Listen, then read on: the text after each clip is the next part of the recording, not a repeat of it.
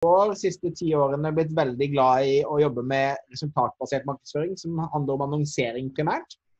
Og driver Moen Co. med min kone, og vi hjelper rundt 70 nettbutikker å eh, selge mer på nett. Og så selger vi litt nettkurs og den type ting i tillegg. Så det er vel eh, eh den korte versjonen. Eh, kan også si altså, Det jeg tenker nå vi kan bruke en uh, halvtimes uh, tid på, er å gå gjennom noen helt konkrete kampanjer. Altså kampanjer som er live, og som er å både bruke penger og generere penger i dag for, uh, for kundene mine. Og rett og slett forklare hva som fungerer bra og dårlig, hvordan vi tenker rundt det. Men det er altså annonsering som er liksom hovedtema her. Og så tenker jeg at eh, alle som, eh, som, stiller spørsmål, eh, må, må, veldig gjerne gjøre det. Og så skal jeg prøve på en måte tilpasse meg litt eh, nivå her. Men eh, jeg tror at som en sånn generell regel så kommer jeg til å prøve å, å forklare så enkelt som mulig hvordan vi jobber. Eh, og litt sånn hva, hva, som er lett og hva som er vanskelig rundt å jobbe med, med nettbutikker og annonsering. Ja. Høres det bra ut, KP? Det høres veldig bra ut. og For å gi deg litt bakgrunn, så er jo eksamensoppgaven i denne klassen det er jo å planlegge og lansere en ekte nettbutikk. Fett. Så... Det er også det jeg sier når, jeg er ute, når studenter spør meg liksom, hvordan kan jeg lære mest mulig, så sier jeg lag din egen nettbutikk. Om du så selger eh, strikkede luer, så lærer du utrolig mye den prosessen. Så det er, det er jo spot on, da. Ja, og så er det i dag så var det noen av studentene Jeg vet ikke om du ser skjermen min nå? Ja? Nei, jeg kicka deg ut, jeg. Så nå ja, ser jeg ikke. Men i hvert fall uh, i, i, dag så var det uh, tre studenter som fikk eh, førstesideoppslag i Østlandets Blad. Ja. Eh, kan ta delen hvis du så... Ja, ja, ja. Jeg skal ta stopp og share, så kan du dele. For det har jeg også sagt at det, Den beste måten å lære PR på, det er jo å gjøre det for sin egen nettbutikk. Så cool. da Hedda, Ole Kristian og Kristina de de tar skoleoppgaven et skritt lenger og lanserer egen nettbutikk. Så de kontaktet da lokalavisen, og så, og så fikk en eh, lang artikkel om hvor de får presentert produktene sine og, og seg selv. Utrolig kult. Så, og det er jo det å få omtale i lokalavisen det er jo mye lettere enn å få omtale i riksdekkende medier. Ja, og jeg vil kanskje si nesten mer effektivt også, for det at folk har mer tilhørighet til det når de leser det. Ja, så det er gøy. Kul. Hvis Det er flere som tar den også. Ja, ja. Sånn, da kan du overta igjen. Stilig. Eh, da tenker jeg at eh, jeg har lyst til å bare introdusere dere først til en nettbutikk som jeg har hjulpet å, å, å, å lansere, som heter bekkafashion.com. Um, og det som er kult med det, dette er en, en ung, tøff klesdesigner som eh, som rett og slett har, eh, hadde satset alle sparepengene sine på å lage sin egen kleskolleksjon. Og som man ofte gjør når man er ny og litt uerfaren, så møtte hun på en fabrikk i Kina som hadde en ekstremt flink, skråstrek eh, grådig selger, som gjorde at hun uh, uten å helt skjønne det, committa seg til å bestille rundt 40 000 klesplagg på første bestilling. Eh, og eh, hun da, for å, å, klare å komme gjennom på dette, så fikk, tok hun kontakt med en lokal investor. Og så gikk da tre investorer sammen og eh, valgte da å eh, låne henne penger så hun kunne kjøpe inn denne store bestillingen som hun hadde da forplikta seg til. Og de kom til meg etter en tre-fire måneder. Da hadde de hatt en lansering der de hadde solgt for 75 000 kroner første uka, som var helt fantastisk. Ehm, men så hadde da salget stoppet ganske brått opp etter selve lanseringsperioden.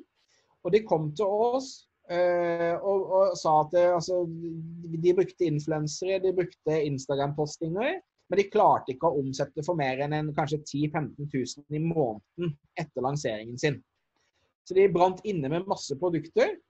Eh, og de var veldig nervøse på hvordan de skulle komme videre. Da introduserte jeg og sa at jeg tror det er lurt å starte med å annonsere på Facebook. en, som dere ser på de klærne her, så er det ganske sånn Kardashians-look på det. Sånn at det, er Instagram- og Facebook-brukere som ofte er interessert i å kjøpe sånne klær. Også spennende hvis det er noen av dere som ser på, har dere sett en dame og sett annonser for dette, så jeg gjerne ifra i chatten. Det var det sist gang jeg snakket om denne her, når jeg var og holdt foredrag hos dere. Um, men uh, Så de kom til oss og bare Hva skal vi gjøre? Uh, for produktene er bra, uh, målgruppen er interessert, men vi når ikke ut til målgruppen. Og, dette er en veldig kult lite eventyr, så faktisk da Vi har en på chatten. Så bra. Eh, Kristina har sett eh, annonsen. Så eh, i løpet av de første seks ukene vi jobbet sammen, så klarte vi å få de opp til at de omsatte for en million kroner i da salg av klær. Og at de da eh, hadde en avkastning på rett eh, rundt fire. Så det betyr at for hver annonsekrone de puttet inn, så fikk de ca. fire kroner tilbake. Eh, og måten vi jobber på, så jobber vi veldig resultats basert. Så vi da eh, snakker alltid med kundene om hva slags marginer de har, og hvordan vi kan da rett og slett kunne gå inn og hjelpe de basert på, på det.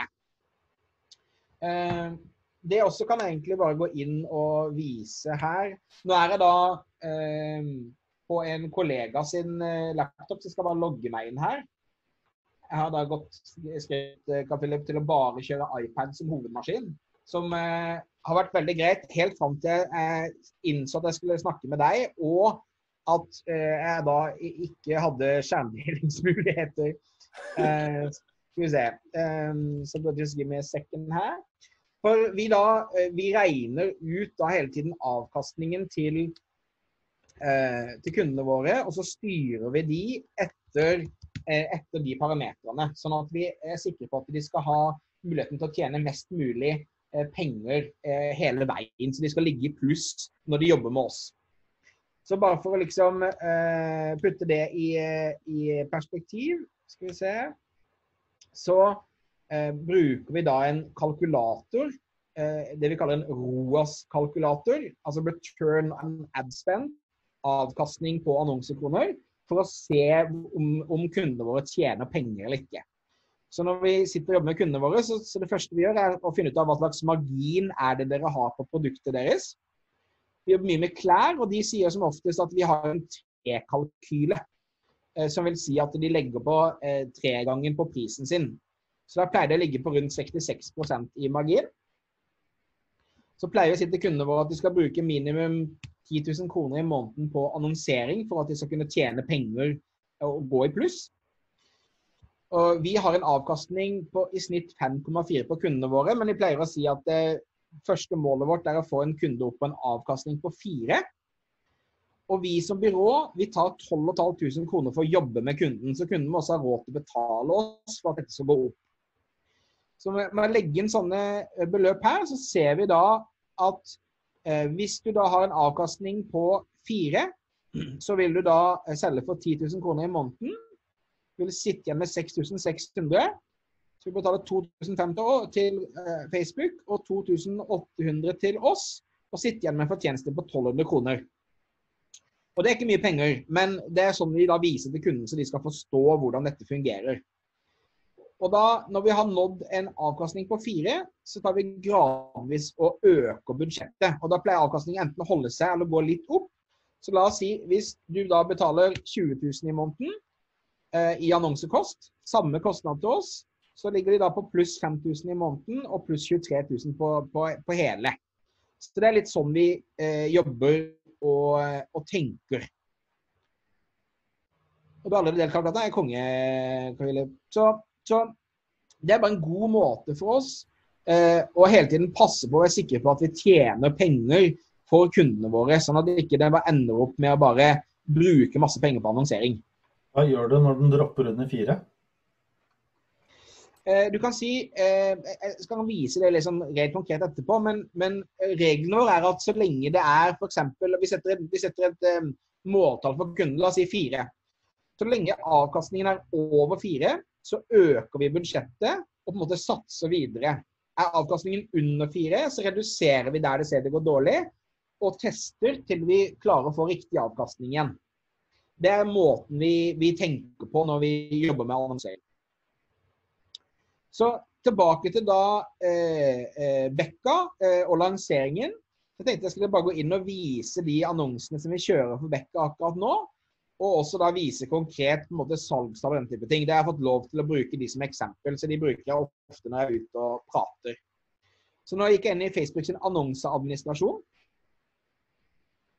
Og her ser du da at eh, de siste 30 dagene eh, så har hun da brukt 63 000 og omsatt for 257 000 kroner.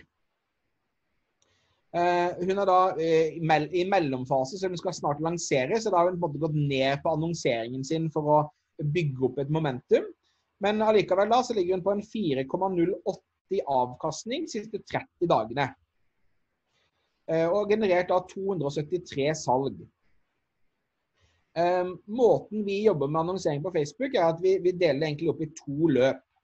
Vi har en katalog Eh, og Det betyr at Facebook har koblet seg sammen med nettbutikken. Og da eh, kan til enhver tid se hva slags produkter som er tilgjengelig i nettbutikken, til hvilken pris. Og ikke minst eh, at Facebook da klarer å plukke opp med det som kalles en Facebook-pixel, som er en spole og lagt siden. Plukke opp hvilke produkter hver individuelle Facebook-gruppe har klikket seg inn på og kan vise da de produktene man har sett på og ikke kjøpt i etterkant. Så det er en katalogkampanje.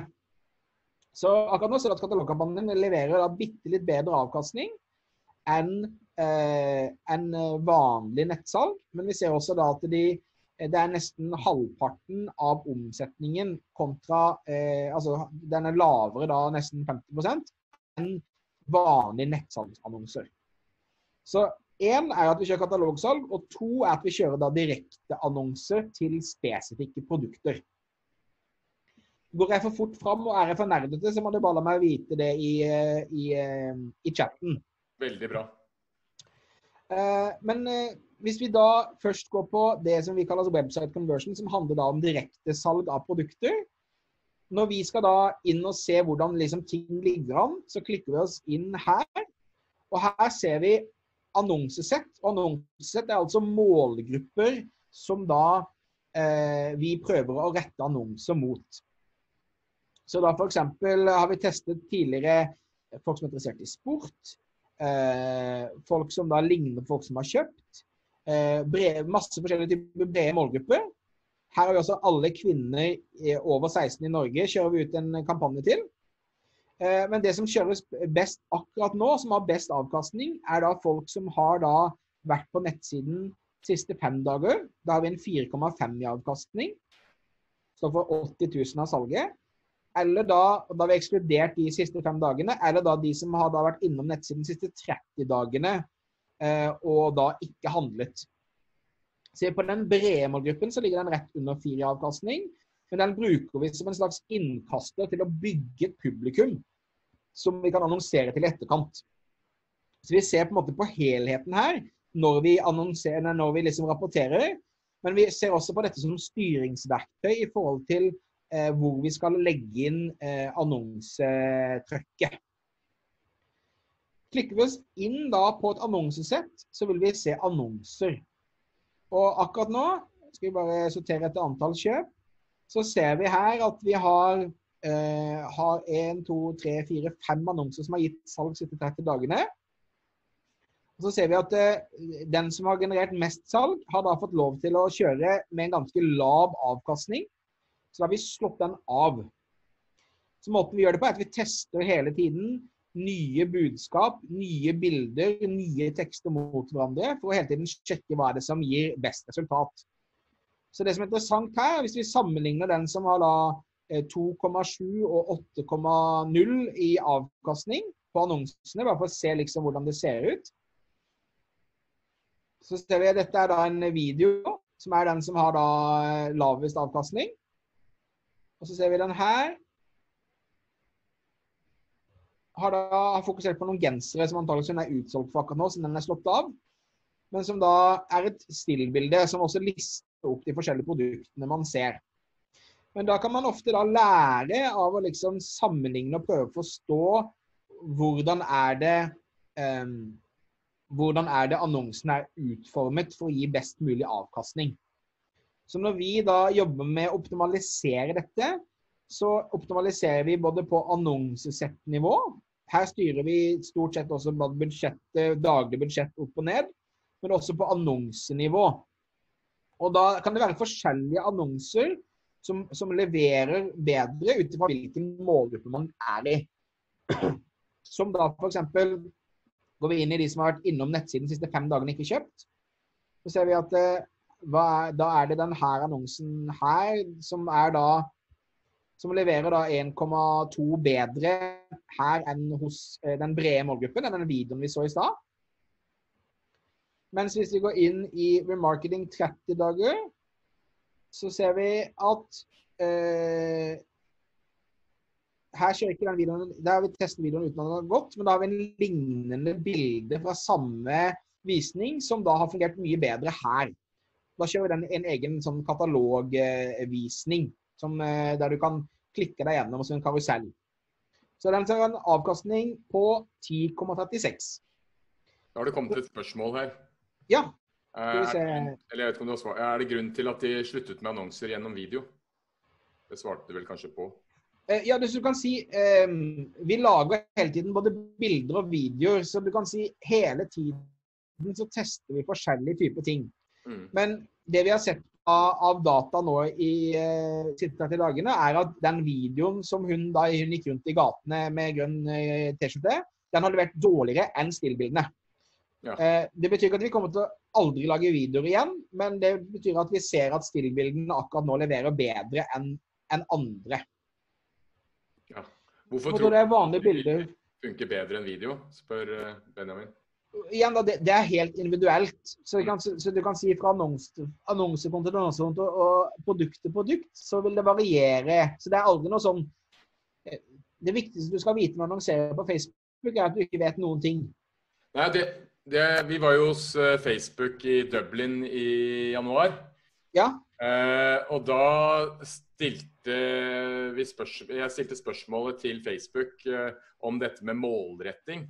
Og ja da var uh, Facebook sitt svar nå var at uh, dropp interesser. Algoritmene til Facebook uh, matcher det for deg. Så de, ja. de, sier jo bare kjør bredt. Algoritmen fikser målretting.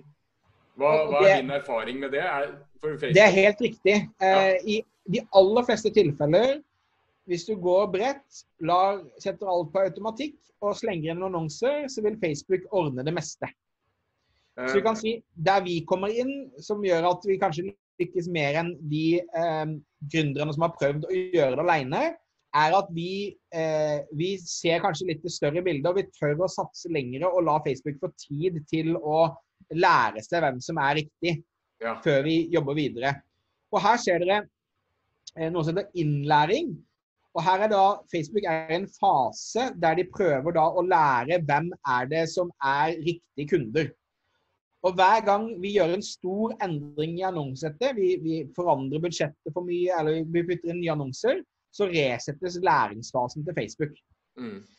Men, men, så bredt som mulig er eh, så å si alltid beste alternativet eh, å, å, gå på. Så eh, hvem, hvem, er det som lager, lager dere eh, det visuelle, eller gjør eh, butikkene selv det? Butikk, eh, du kan si eh, Min grunnregel er at jeg vil alltid at gründeren eller butikken skal gjøre det selv. For de har mer eierskap til alt. Mm. Um, men det er ikke alle som er kjempeflinke til det. Så det er av og til vi må inn og gjøre spesielt om ting på tekst. Der de ikke er flinke nok til å, til å brekke det opp, eller har ikke nok emojis eller andre ting som på en måte vil være, kunne være med å påvirke på en eller annen måte. Men um, i så stor grad som mulig så mener at innholdsproduksjonen bør være internt i selskapet. Mm. Eh, for det er de som har eierskap til, til, det på en helt annen måte. Så, så hvis du da setter um, altså Hvis du setter et byrå til å gjøre det, så vil de bry seg mye mer om kanskje det visuelle og, uh, og teksten Uh, Men de vil ikke vise så mye om resultatene på samme måte som du som gründer vil gjøre det. Mm. Så når vi rapporterer hver uke, så forteller vi til, til gründeren dette er de to beste annonsene denne uka her, og dette er de to dårligste. Vi har slått av de dårligste, og vi fortsetter å bruke de beste. Og så anbefaler vi å lage nye variasjoner inspirert av det som på en måte har blitt vist. da. Mm. Så det er måten man, eh, man, man bør tenke på for å få liksom, eh, mest mulig ut av det. Eh, men en, en annen ting som jeg synes er interessant, altså to ting som jeg tenker er verdt å, å nevne her. Eh, det var vel merkelig at det var logget inn på Facebook her, men ikke der. Skal vi se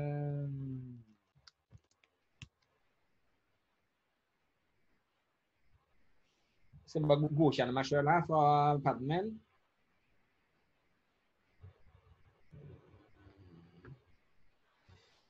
Har du vist at du kan spionere på eh, At du kan spionere på alle, alle merkevarer på Facebook, Kalilip? Jeg tror det er muta nå. Ja, Jeg har ikke vist den. Kult, da skal jeg vise det nå. Eh, for det er jo én, det er helt fantastisk eh, å kunne gjøre. Og du kan lære masse av det. Så når jeg logger meg inn på Facebook, så skal jeg bare gå inn til en annen kunde av oss som heter eh, Nestshop. Eh, og Nestshop, eh, annet da under disse koronatider, har faktisk eh, nesten hatt en tredobling av daglig salg. Så de har hatt en enorm økning når nordmenn har blitt satt, satt inne. Men hvis vi da går inn på deres Facebook-side, og dette kan du gjøre på alle Facebook-sider som du måtte ønske, så er det en liten boks som heter da gjennomsiktighet på sider. Klikker du her, så er det en boks som heter annonser på denne siden, og da kan du gå til annonsebiblioteket, så kan du se alle annonsene som alle Facebook-sider i hele verden kjører, for å lære og prøve å forstå hvordan de gjør ting. Så her kan du liksom se dette er det annonsene som vi kjører for kunden akkurat nå. Og det som de har begynt med som har fungert ekstremt bra, er at de begynte å kjøre motoppvisninger hjemme i stua til gründeren. Kult. Skal vi se eh, Jeg tror kanskje den nettleser har en blokkering på dette. Ja, så i hvert fall Det som skjer, enkelt og greit, er at de går foran kamera og bare viser fram produktene. De gjør det live og får masse salg på dette. Og deretter putter vi annonser, annonsering på det etterpå. Så da lager de innhold live som de får salg på. De får direkte feedback. Og de, de livesendingene som går bra, tar vi da putter penger på å annonsere ut i etterkant. Så det er bare en veldig kul måte å gjøre det på. Vet, vet du grunnen til, jeg, grunnen til at eh, de gjør det, eller at Facebook ønsker denne transparensen? Jeg, jeg skjønner hvorfor de gjør det på politisk reklame, men eh, hva, hva tror du er grunnen til at uh, Facebook lar dette her være åpent? Jeg- tror de er redd for å få for mye smekk på lanka av EU eh, på mye ting. Så jeg tror at de har valgt akkurat fordi de bygde dette verktøyet som du sier for politiske annonser. De har bare valgt å ha det oppe. på hvorfor ikke, Ja. rett og slett. Eh, Men det, det er da en- interessant bare å se hvordan ja, altså Det å kunne spionere på andre. Eh, Nelly.com f.eks. Eh, så kan man inn og se hva slags annonser de kjører i hva slags land. Man kan hele tiden lære. Dette var tydeligvis ikke Nelly Klær, men kanskje artisten. Men man kan Eh, ikke se budsjetter og sånn der. Nei, nei, så du kan ikke se budsjetter og målretting, Man kan kun se annonsene. Eh, Men det er likevel veldig da interessant for å kunne se på konkurrenter og se på andre og få inspirasjon. Eh, Jeg vet, Kjører dere noen annonser på Inevo f.eks.? Eh, det vet jeg ikke. Det kan du gå inn og sjekke. Så her ser vi, her kjører dere en annonse som Ja, en direkte kontaktannonse. Så sikkert en remarketing, da, tenker jeg. Ja. Jeg tror det er noen som har prøvd noen videogreier med StoryKit. Uh, Ja. Men jeg vet ikke om det Eh, Men, men poenget her er at eh, studentene kan da gå inn og se hvordan andre, andre folk gjør det, og liksom lære av det. Ja. Det er, jo, det er jo en idé til eh, blogginnlegg for noen også, hvis man eh, har lyst til å få litt oppmerksomhet hos en merkevare. Ikke sant? Gå inn på nelly.com, salando.com og kanskje én aktør til. og så Ja. vurdere annonsene deres. Og skrive litt om det. Det er er kjempekult. Det er også en idé til eksamen hvor man skal ha forslag på annonser fra nettbutikken sin og kan kopiere annonser som ser ut til å fungere. Her ser du at eh, Pepsi kjører da ikke annonser i Norge akkurat nå, men i Litauen, Estland, Latvia og Bahamas. Blant Så hvis man har lyst- kan vi gå inn og se. her. Så hvis man har lyst på jobb i Pepsi, da, eh, så er jo så Hva tror du grunnen til at de ikke gjør det i Norge? Antagelig så er det ikke lønnsomt akkurat nå. eller De har ikke noe kampanje. De er så store at de ikke har noe kampanje akkurat nå ikke sant, på det. Jeg, jeg, jeg, Eh, mistenker, ja, jeg, mistenker at eh, byrået i Norge ikke har tatt eierskap ordentlig til dette her, og venter bare på instrukser. Men jeg vet jo ikke. Det er nok helt sikkert korrekt. Så, men, men det er bare godt verdt å være klar over, tenker jeg. Mm.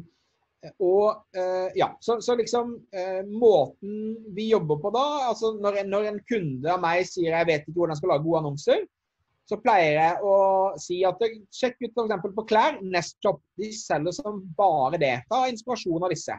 Ta og Eksperimenter. Nestshop forresten, de sender også ut daglig e-post med reklame. Og eh, det er det som kickstarter salget. Og jeg har aldri sett så bra, bra åpningsrater, klikkrater og konverteringsrater før. Selv om de de sender ut hver dag. alle regler. Ja, selv om de sender ut hver dag. Hver dag. Ja. Så jeg har kunder som da har nettbutikker som er livredde for å selge ut en gang i måneden. ikke sant? De vil ikke være forstyrrende. Jeg bare OK, det drit i det.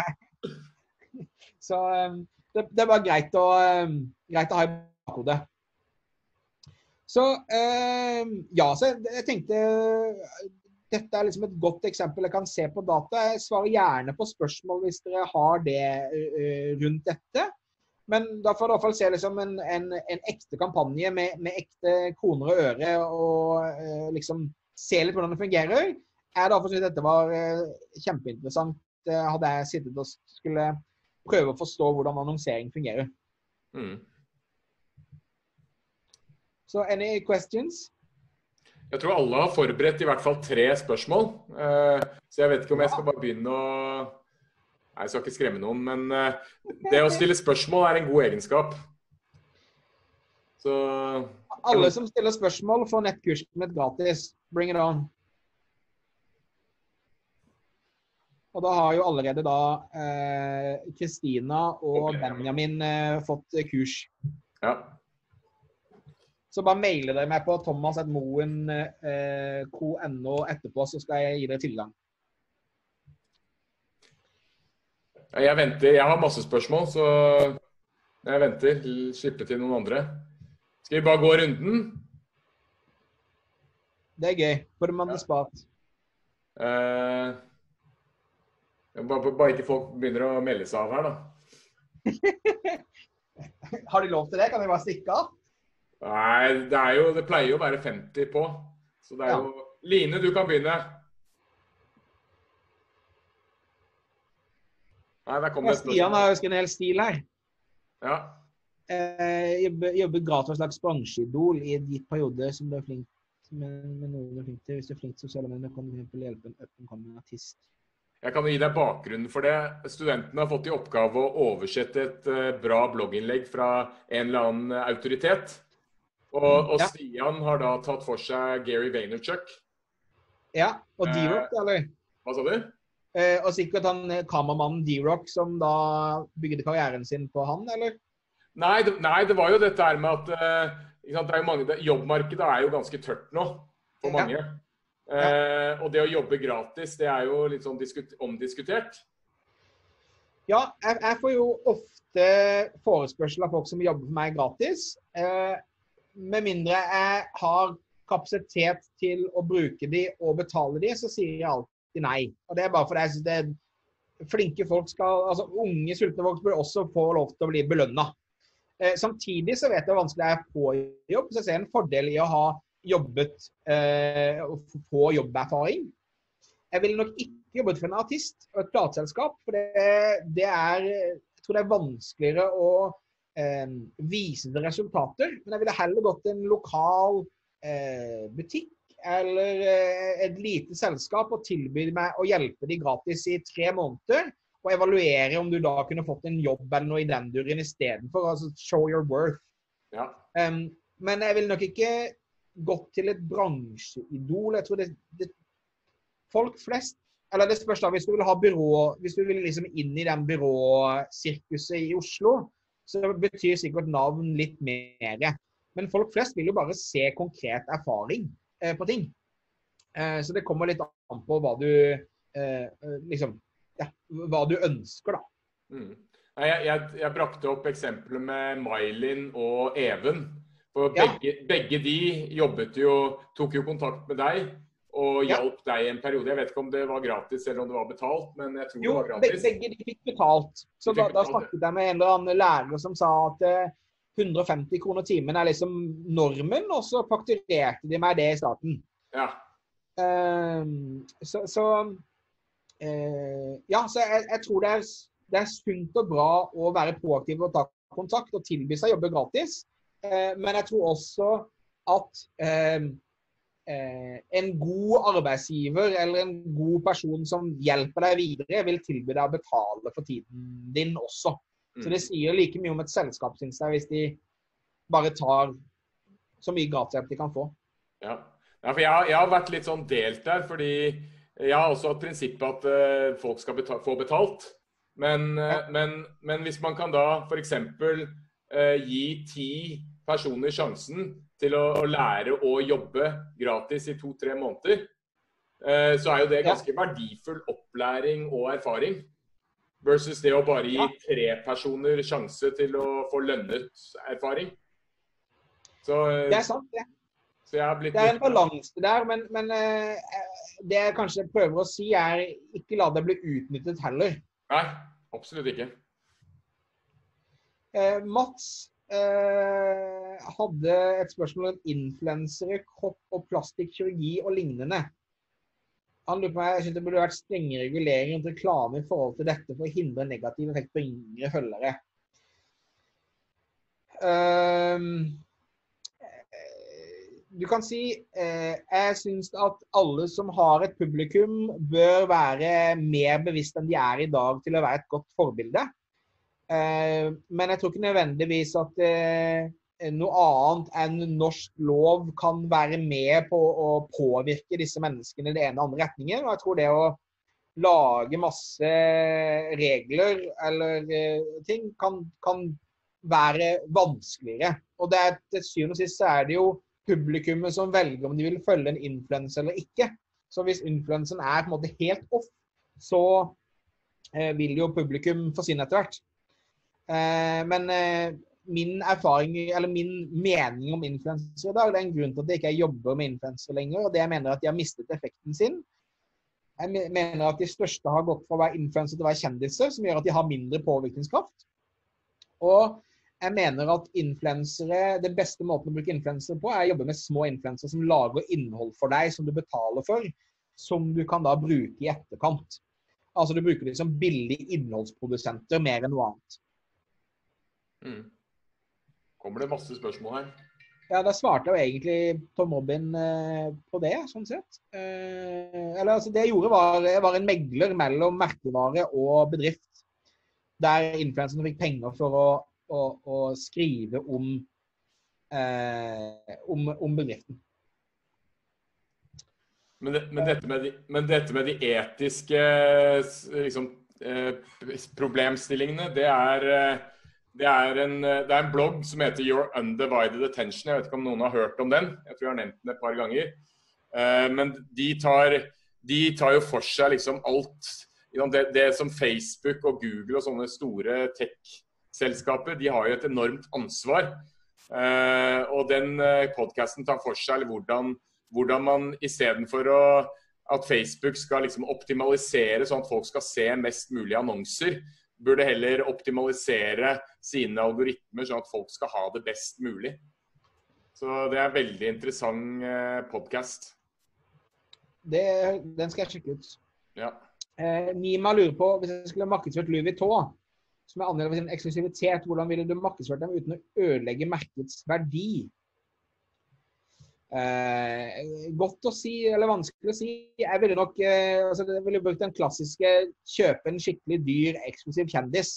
I så fall, hvis jeg skulle brukt noe av deres innhold i sosiale medier. Eh, og jeg tror nok at eh, disse merkevarene har på en måte såpass sterk standing hos et publikum i dag at, eh, at de ikke bruker mye kanskje tid og energi på f.eks. Eh, annonsering på Facebook. Vi kan, jo, vi kan jo se om de annonserer, for så vidt. Det er bra svar. Det er bare å gå og se. skal vi se De, eh, de kjører annonser i Japan. Tror du det er bevisst, Eh. eller tror du det er litt tilfeldig?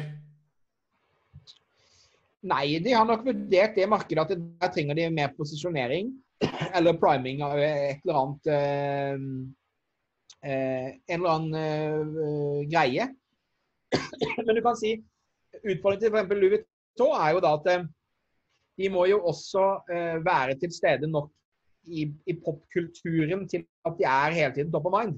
Hvis ikke så dør plutselig generasjonen som kjøper Louis Vuitton ut.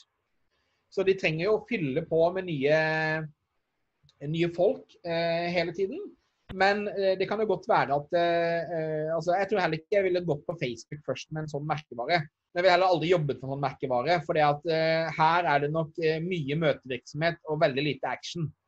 Eh, hvis man skulle jobbet for noen som Louis Vuitton. Skal vi se Forbrukerne har retningslinjer. Ja, jeg prøvde å lansere bloggplakaten i 2010, eh, som var jo veldig, eh, veldig mye skriverier om da. Og det, det er jo det Forbrukertilsynet liksom noe av det samme de har gjort. Eh, men dette er jo retningslinjer som egentlig forteller om norsk lov på en enkel og grei måte. Det er ikke noe de må nødt til å forholde seg til. Det, det som kunne vært interessant, Thomas eh, Du kjenner jo Eller kjenner du Stine Skalleberg? Ja. Eh, hun, hun er jo ansvarlig for Facebook-annonsering i eh, Warner-gruppen. Ja. Så det kunne jo vært gøy å bare få deg til å gå inn på eh, Page Transparency på Warner-gruppen. Et av merkevarene, jeg vet ikke helt hvilken som er den mest kjente av Warner-gruppen sine. Og så se litt på eh, hva hun har gjort. Kubus var jo noe hun nevnte. Ja, Kubus, ja. For det er jo forskjell på hvordan en gründer jobber versus en stor eh, kjede. Ja, ja, ja absolutt. Men så kan, det Eh. kan jo være at du kan se noen eh, fellestrekk med de du jobber med og det her, og så kan du kanskje si noe om hva du tror funker og hva ikke funker, og se om Du kan si For det første så er jo Kubus en kjent merkevare. ikke sant? Ja. Um, så så det, det, tilliten er nok høyere der enn hos eh, Persen. Og Det ser vi kanskje også litt på teksten, at det, det er mye av de samme tekstene som går igjen, som egentlig er liksom nesten litt sånn latskap. Eh, men men de, de, de, snakker mer, de, de fremhever et produkt, men de snakker jo mer om å få det inn på hovedsiden. Ikke Mm. sant? Så, men nye plagg, eh, nye kjente plagg. Trenger du nye plagg? Eh, favorittplagg? Eh, så det liksom her, er det, her regner de med at du vet hvem Kubus er. Og her eh, bruker de ikke mye energi på å få deg til å føle noe eller stole på det, bygge noe tillit, egentlig. Og bildene her også er egentlig noe fan av å ha logo på bildene. Bildene er jo som å se en litt sånn dårlig TV-reklame i mine øyne. Mm. Som sikkert fungerer bra mot Kubus' målgruppe. Men jeg tror at eh, for mange, spesielt eh, de, de yngre, så, så ser jeg at eh, annonser som er litt mer situasjons... Altså, dette er et modellbilde. Situasjonsbilder, miljøbilder, ofte fungerer mye bedre. Det som er, liksom litt mer Kall det Instagrammable, da. Kan du se om de bruker katalog eh, Nei, det kan vi ikke se her, dessverre. Så det eneste vi kan se, er liksom de annonserer Kan se hvilke kanaler de annonserer på. Du kan, Det kan kanskje se ut som de bruker katalog når det er bare et produktbilde. Nei, kanskje ikke. Det produktbildet der, det er kanskje er det kar karuseller som går når du kjører katalog, så jeg er litt overrasket, men jeg tror faktisk ikke de bruker katalog. Nei. Så hvis noen har lyst eh, til å hjelpe Stine, så kan man jo si at uh, sende henne en mail og si jeg har vært og gjort en analyse av uh, deres annonsering og ser at dere ikke bruker katalog. Og så her er en link til Eller uten å være sånn bedre, bedrevisser, da, men spørre hvorfor de ikke bruker katalog, kanskje. Ja, det tror jeg er en kjempegod idé. Da tror jeg man uh, får en stjerne i boka hos Stine. Hvis man klarer å stille spørsmålet på en måte som ikke gjør at man kommer med liksom Ikke dusj. Ja, er du teit? Stian spør om e-post. Uh, nettbutikker så bør 40% av omsetningen komme fra e-post. Eh, store nettbutikker i USA de går nesten i null på et salg på Facebook, men de vet at de tjener det inn i de neste årene på e-postsalg. En av mine absolutt store eh, forbilder på det er Boom by Cindy Joseph. Eh, som er ekstremt ekstremt flinke på Facebook og, men har liksom Hovedfokuset er bare å få salget med minst mulig tap. Fordi de er så ekstremt gode på å uh, selge via e-post etterpå. Og Boom by Cindy Joseph er jo hans Det er jo uh, Ezra Firestone. Ezra Firestone, ja. Og hun, hun, er vel død, hun? Hun er død. altså de, de hadde, I fjor så måtte de gå fra å promotere henne til å promotere kundene.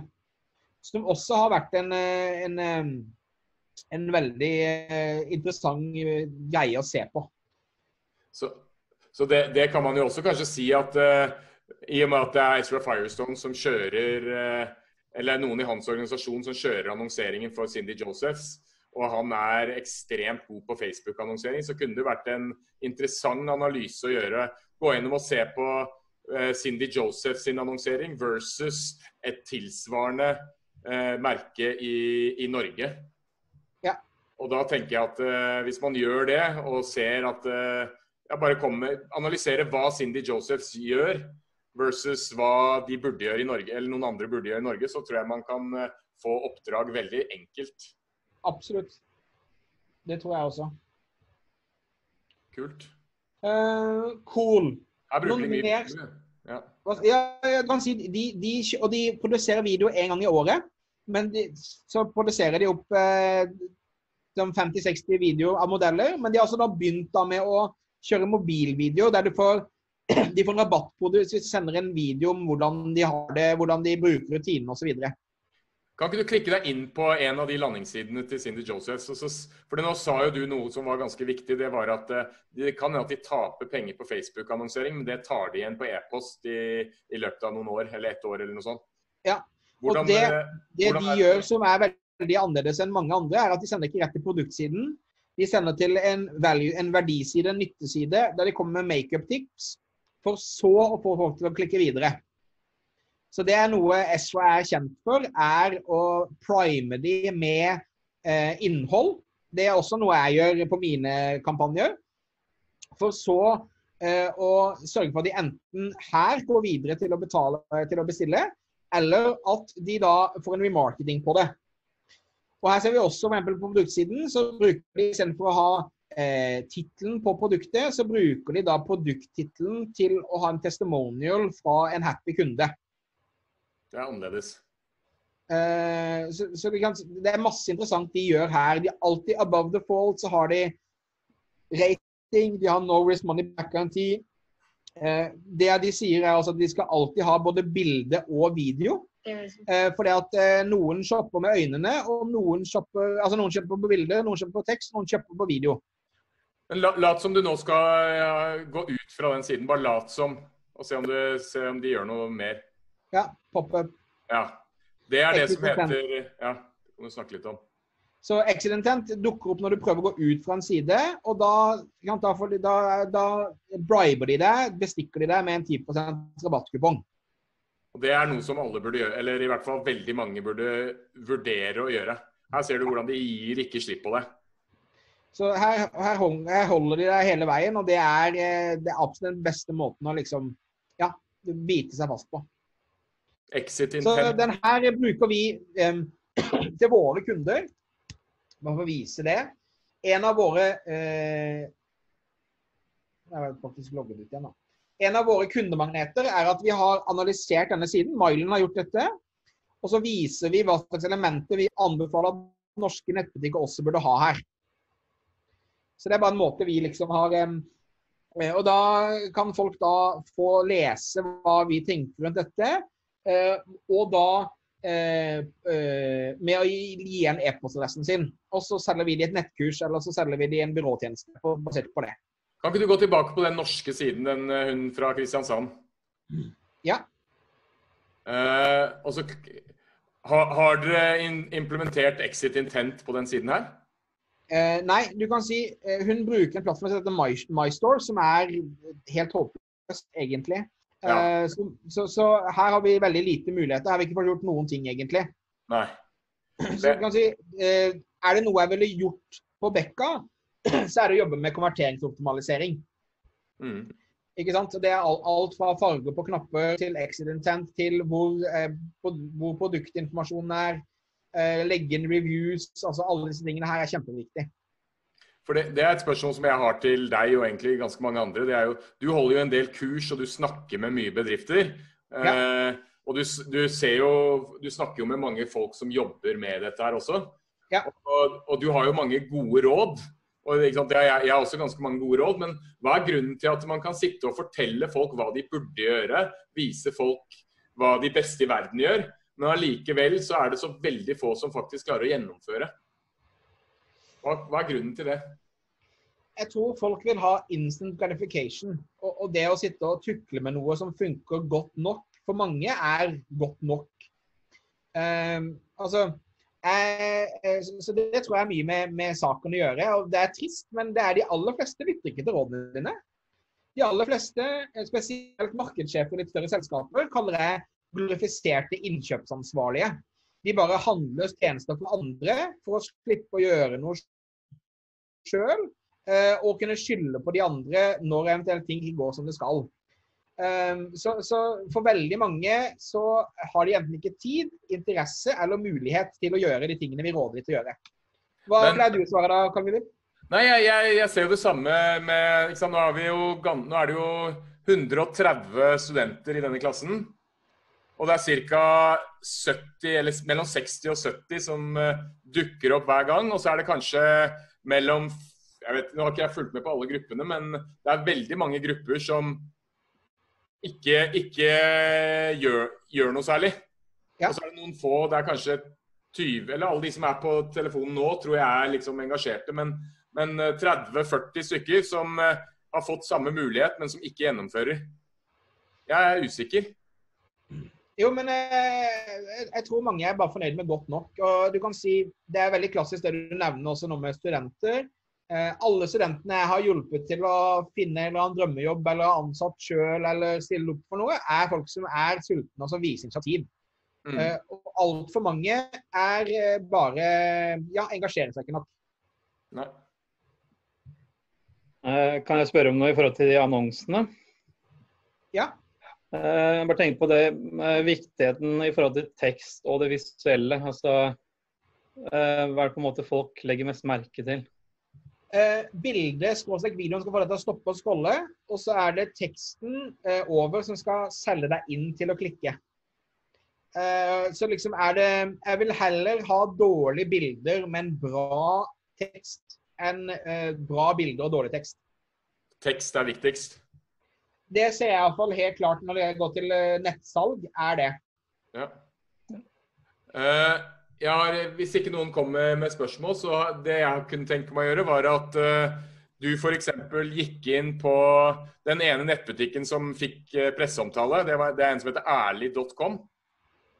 Kult, det kan jeg gjøre. Hvis du kan gå inn og så gjøre en uh, løpe videre etter det. Ærlig.com? Ja. Jeg tror det er ærlig.com eller Å, den er ikke, den er ikke åpen, nei. Uh, er det noen av de som er der, så kan jeg få passordet, eller? Nei, da må Kristin ja, Jeg kan sende passord, ja. ja. Send passord på Fett. Du kan, jo, du kan jo begynne på Facebook-siden deres. Jeg vet ikke om dere har satt opp noen annonser, Kristine? Kristina? Uh, jeg, jeg, husker ikke helt, men jeg har, jeg har kjørt i gang promotering på to av innleggene vi har lagt ut, i hvert fall. Um, Sender du passordet til Thomas?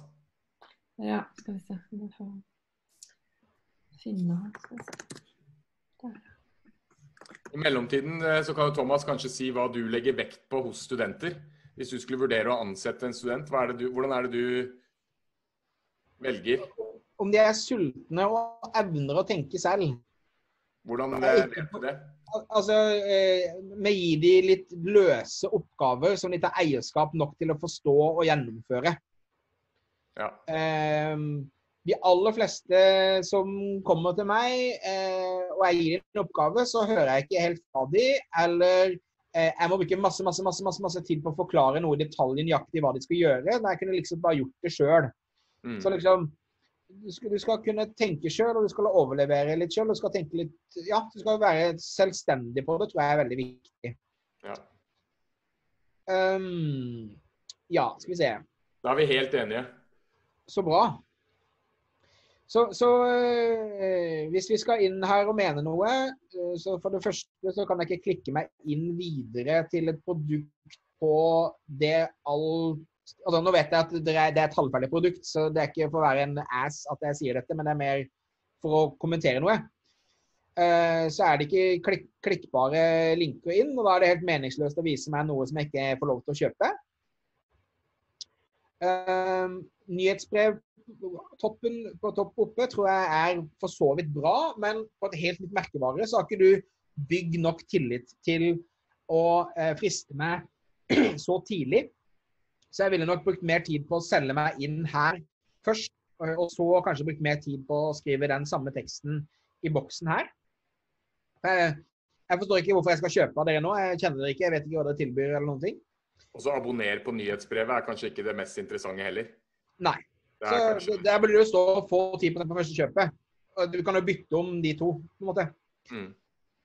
Uh, uh, Heddas favoritt-Ole Jeg vet ikke hvem Hedda, Ole og Kristina er, så jeg driter egentlig i at det er favoritten deres. uh, sånn sett. Uh, men jeg liker at det er noe, noe ekte tekst her som, som viser rundt det. Men uh, jeg vet jo ikke nok enda om, om de til og med skal bry meg om det. Testimonials er bra. Da kan jeg heller kanskje dytte det over her, så bygger litt mer social proof, litt mer eh, trust på toppen. Og gjerne med bilder av eh, Karin og Aleksander. Men jeg ville nok hatt eh, Skulle jeg gjort noe, så ville jeg nok hatt eh, Usikker på om jeg ville hatt en sånn heldekkende sak, men iallfall klikkbar. Men jeg ville hatt produktene på toppen. Og så ville jeg hatt testimonialene rett under. Og så ville jeg hatt Hedda, Ole og Kristians favoritter. Eh, sånn sett. Går jeg inn på et produkt, den er ikke klikkbar, så det vil jeg fikse. Går jeg inn på et produkt, så liker jeg at det er bilder både med og på, men jeg vil også hatt noen miljøbilder, altså hvordan det ser ut når eh, en eller annen sitter og drikker kaffe og bruker T-skjorta casually. Nå skjønner jeg at det antageligvis er eh, noen som har redigert på her, men liksom Hvis vi skulle gjort det. Ville også solgt inn historien her, brukt tid på å fortelle hvorfor, hvorfor dette produktet, hvorfor skal jeg bry meg, hva betyr særlig for dere, hva, hva representerer jeg, hvilken klubb er det jeg joiner på det. Så ville jeg også kanskje i bunnen ha hatt mer historiefortelling. Eh, En av mine favoritt-nettbutikker, der jeg kjøper altfor mye Der har jeg kjøpt alle T-skjortene mine. Jeg har kjøpt eh, syv sorte og syv eh, grønne T-skjorter. Eh, også akkurat kjøpt eh, facemasks av de fleste. Um, men de er flinke til å snakke om hvordan de produserer det, hvorfor de bryr seg om ting.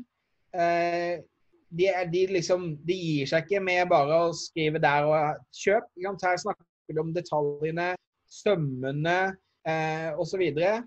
Eh, vise hvordan ting produseres i bakgrunnen. Dette er på hver eneste produktside, så har de tatt seg tiden til å liksom bry seg nok om hvordan det produseres. really garment.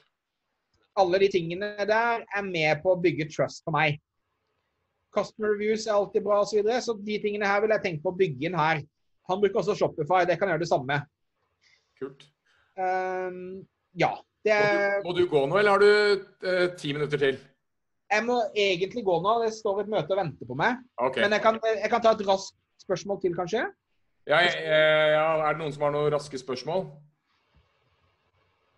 Eller så kan vi ta ti minutter på tre minutter. Vi er ganske pratsomme begge to. Ja, vi kan ta, tre- vi kan ta tre minutter. Eh, Det har vi skrevet inn nå, da. Å ja, hvor da? Der, ja. Skal vi se, chat. For bedrifter som driver med produkter som ikke tar seg bra ut ved å gå ned i pris, rabatter, kunst f.eks., hva vil du anbefale her som exit-side bestikkelse? Gratis merch? Spørsmålstegn.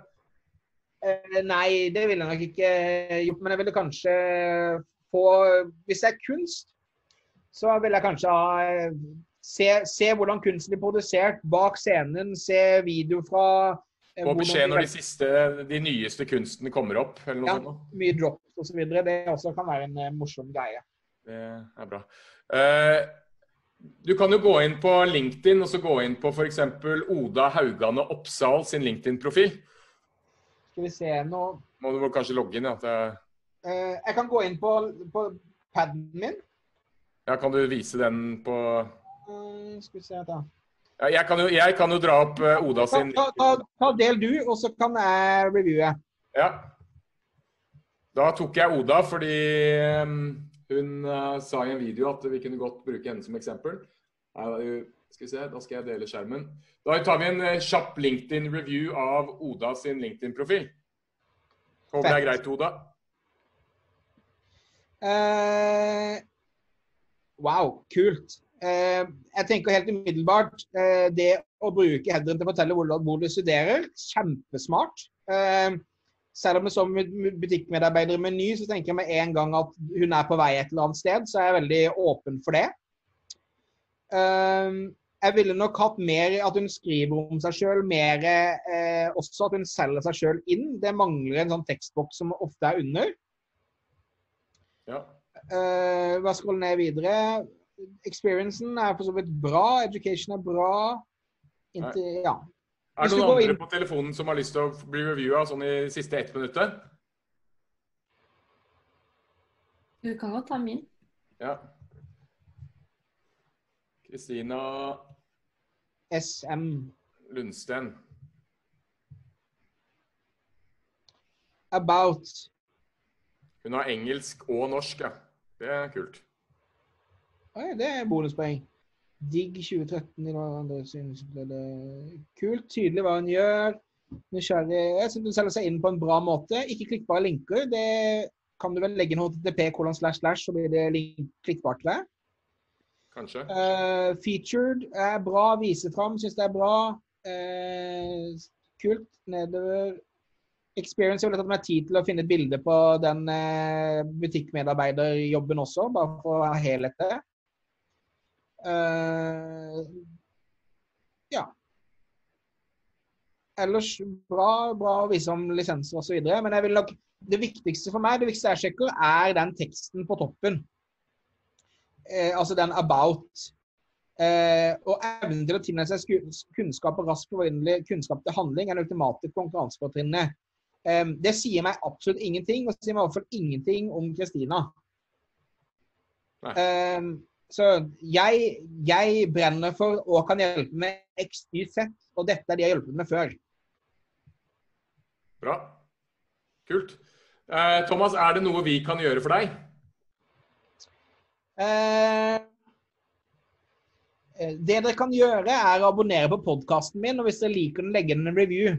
Det hadde vært hyggelig. Så bra. Da får du lov å gå til møtet. Ja, takk skal du ha. Tusen hjertelig takk. Det var kjempespennende og nyttig, og alltid gøy. Anytime. Da snakkes vi. Vi gjør det. Ha det. Hei.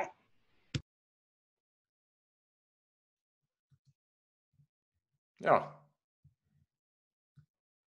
Det var gøy, syns jeg. Jeg håper det var nyttig. Nå skal jeg stoppe, stoppe recordingen der, jeg.